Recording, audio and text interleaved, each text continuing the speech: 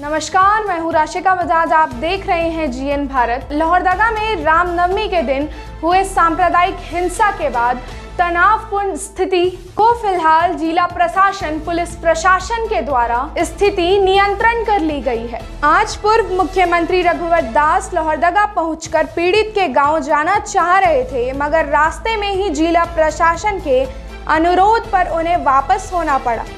पूर्व मुख्यमंत्री रघुवर दास ने कहा कि लोहरदगा में हुए दंगा में पीएलएफआई का हाथ है। वर्तमान की सरकार में वोट बैंक और तुष्टीकरण की राजनीति के कारण कहीं ना कहीं ऐसी शक्तियों को संरक्षण सरकार के मंत्री स्तर पर और मुख्यमंत्री स्तर पर ये संरक्षण ऐसी शक्तियों को मिल रही है, जिसके कारण ही ये घटना लोहरदगा में हो या बेरमो में हो। जबकि बहुसंख्यक समाज का सनातन और सरना समाज कोई भी धार्मिक कार्यक्रम होता है। एक खास समाज के कट्टरपंथी इस्लाम विचारधारा के आतंकवादी संगठन का हाथ है कि नहीं, इसकी सरकार को जाँच करनी चाहिए और कड़ी कार्रवाई करनी चाहिए। का हाथ है। और हमने 2019 में क्रिमिनल अमेंडमेंट एक्ट 1908 के सेक्शन 16 के तहत पीएफआई को हमने प्रतिबंधित किया, जो आज भी लागू है। और देश का झारखंड पहला राज्य, जहाँ हमने पीएफआई जैसा इस्लामिक आतंकवादी संगठन को प्रतिबंधित किया।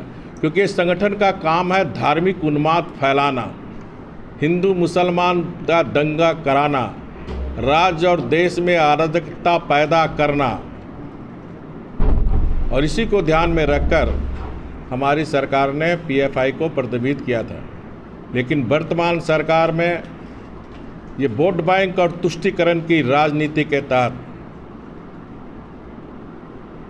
कहीं न कहीं ऐसी शक्तियों को संरक्षण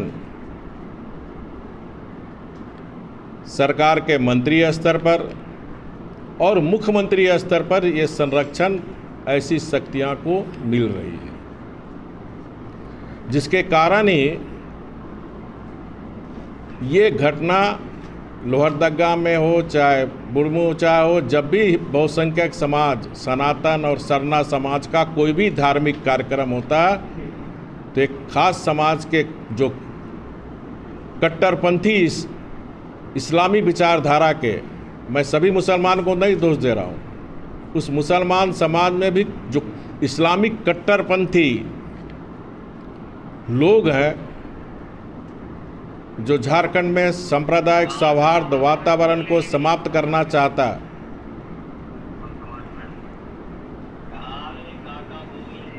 मैं सरकार से मांग करता हूँ कि सारे मामले का एस आई टी से जाँच कराकर और इन सारी घटनाओं में पीएफआई जैसा इस्लामिक आतंकवादी संगठन का हाथ है कि नहीं? ये सरकार को जाँच करानी चाहिए और कड़ी कार्रवाई करनी चाहिए। करने भी है नहीं आया? राजनीति तो कर रहे हैं। माननीय रामेश्वर उरांव जी, माननीय रामेश्वर उरांव जी को यहाँ के जनप्रतिनिधि है। बार बार लोहरदगा में दंगा क्यों हो रहा?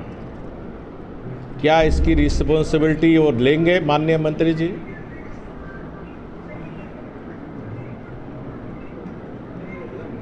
माननीय मंत्री जी एक आईजी स्तर के पुलिस प्रशासन के भी अधिकारी रहे हुए और मेरा सीधे आरोप है, जो लोगों के द्वारा है, सारा संरक्षण ये राष्ट्र विरोधी शक्तियाँ, समाज तोड़क शक्तियाँ, देश तोड़ा शक्तियों का संरक्षण का सरगना। यहाँ के मंत्री जी हैं, यहाँ के एक राज्यसभा के सांसद जी।